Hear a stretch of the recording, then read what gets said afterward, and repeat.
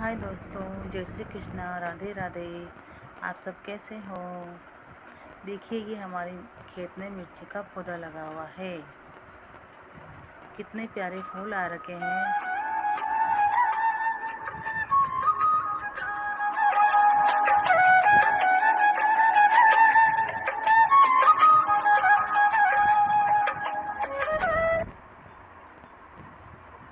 कितनी छोटी छोटी मिर्चियाँ निकल के आ गई है। एक साथ में बहुत सारी मिर्चियाँ आ जाती है इसमें।